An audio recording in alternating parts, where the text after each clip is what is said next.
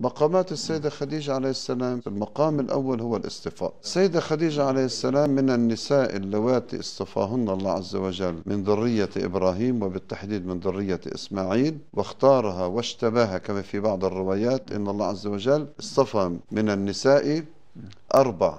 واحدة خديجة عليه السلام.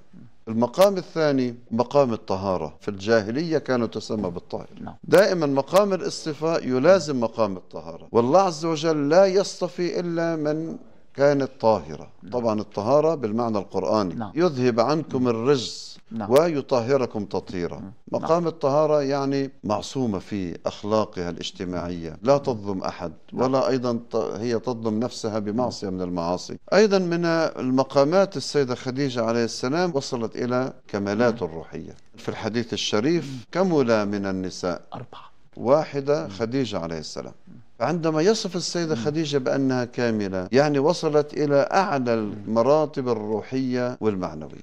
هذا يعني أنها لها مقام اليقين عندها مقام الرضا عندها أيضا مقام الحب وصلت إلى مقام المحبين لله عز وجل. والسلام الذي أرسله الله عز وجل لها هذا يكشف على أنها كانت من الذين وصلوا إلى مرتبة الحب الإلهي أحبت الله وأحبها الله عز وجل. في القرآن الكريم الله عز وجل على من يسلم؟ نعم. يسلم على الأنبياء. يعني خديجة وصلت إلى منزلة الأنبياء في مقامها الروحي ومنزلتها عند الله عز وجل.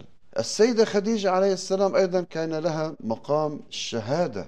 استشهدت في سبيل الله وفي سبيل الرسول صلى الله عليه وآله وسلم. من هنا الله عز وجل بشرها بأعلى مرتبة من مراتب الجنة. يعني هي مع الشهداء مع الصديقين لأن صدقت أول من صدقت بالر- صدقت بالرسول صلى الله عليه وآله وسلم. ويبشرها ببيت في الجنة من قصب لا صخب فيه ولا نصب. إشارة إلى ما يصل إليه السابقون السابقون لأن هي أول من أسلمت. الآية أيضا تشير إلى هذا المعنى بأن هي كانت من السابقين بل هي أول السابقين. نعم. أولئك في جنات النعيم.